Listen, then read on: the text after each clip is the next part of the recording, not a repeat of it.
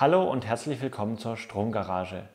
Ich bin Christian und ich möchte euch heute mal was über Ladegeschwindigkeiten von E-Autos erzählen.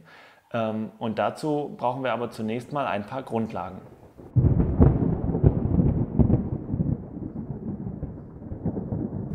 Elektrische Spannung wird in Volt angegeben und ist ein Maß dafür, wie der Unterschied der Menge an Elektronen von einem Pol zum anderen sind.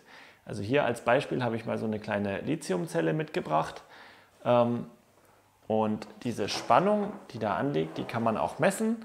Das ist ein einfaches Multimeter.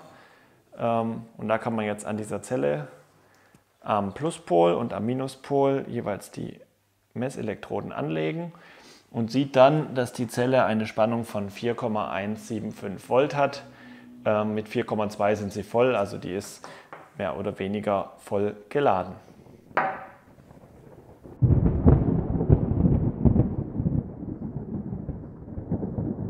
Der Strom fließt erst, wenn man einen Stromkreis geschlossen hat. Also hier habe ich meine Spannungsquelle und wenn ich die jetzt hier polrichtig an diese Batterie anschließe, ich habe hier eine kleine LED mitgebracht.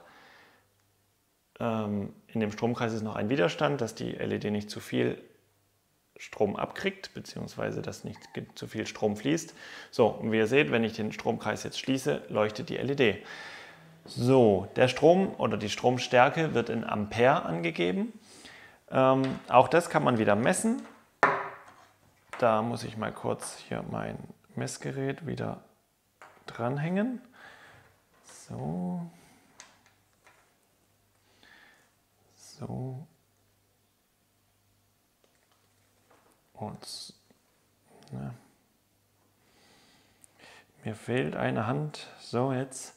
Also der Stromkreis ist geschlossen. Ihr seht, die LED leuchtet wieder.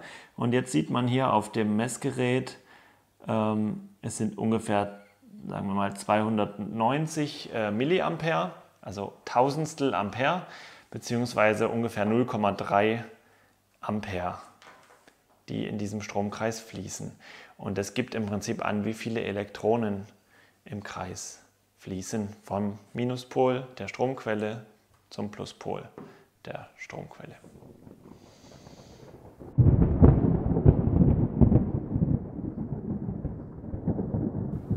Elektrische Leistung wird in Watt angegeben ähm, und ist im Prinzip das Produkt aus Volt und Ampere, also aus Spannung und Strom.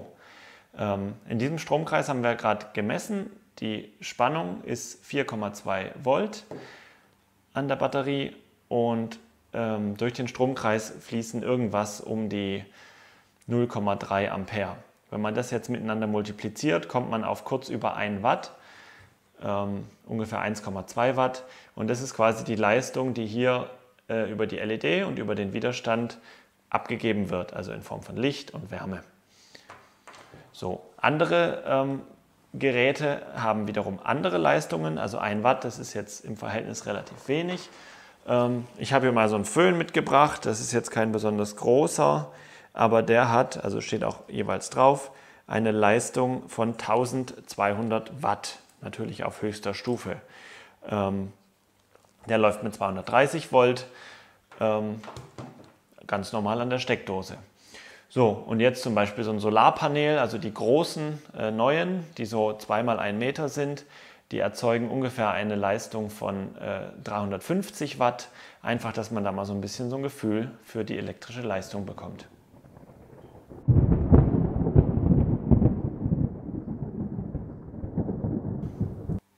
Elektrische Energie wird in Wattstunden oder Kilowattstunden angegeben ähm, und ist im Prinzip dann das Produkt aus der elektrischen Leistung und der Zeit.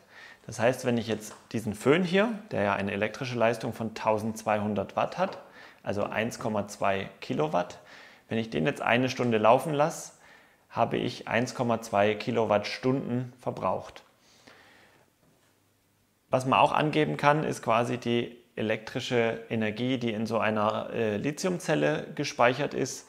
Das sind bei diesen 18650er Zellen ungefähr 10 Wattstunden. Das heißt, ich könnte diesen Stromkreis, der ja ungefähr auf einem Watt läuft, für 10 Stunden betreiben mit dieser Batterie.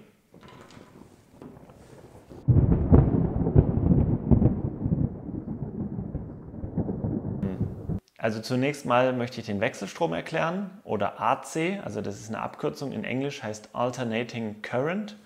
Das beschreibt im Prinzip diese Sinuswelle, in der die Spannung auf, dem, auf der Phase von, von plus, also bei unserer Haushaltssteckdose von plus 325 Volt auf minus 325 Volt schwingt. Ähm, insgesamt, also weil das ja zwischendurch mal auch auf Null ist und nur im Peak quasi auf diesen 325 ähm, ergibt es dann eine Effektivspannung, die wir alle kennen, von 230 Volt. Ähm, das ist auch das, was im Prinzip auf diesen ganzen Geräten immer mit angegeben ist. Also das hier ist ein Föhn für Wechselstrom. Kann man immer daran erkennen, wenn unten so ein Schuko-Stecker dran ist, dann ist es ein Wechselstromgerät. Ähm, das Ganze gibt es dann auch noch dreiphasig. Äh, das ist dann für die Wallboxen halt interessant. Ähm, da ist dann eben nicht nur ein Leiter, der auf der diese Welle läuft, sondern es sind drei. Und diese Welle läuft auf denen nicht gleich, sondern jeweils um 120 Grad versetzt. Also ihr müsst euch das vorstellen, das ist so eine Sinuswelle, so. Und die zweite fängt dann meinetwegen dort an und die dritte dort. Und dann ist das halt so ein gleichmäßiges Wellenmuster. Und dadurch kriegt man dann eine Effektivspannung von 400 Volt hin, rein rechnerisch. Ähm, und eben einfach über, also man kriegt einfach mehr Leistung dann äh, dadurch übertragen.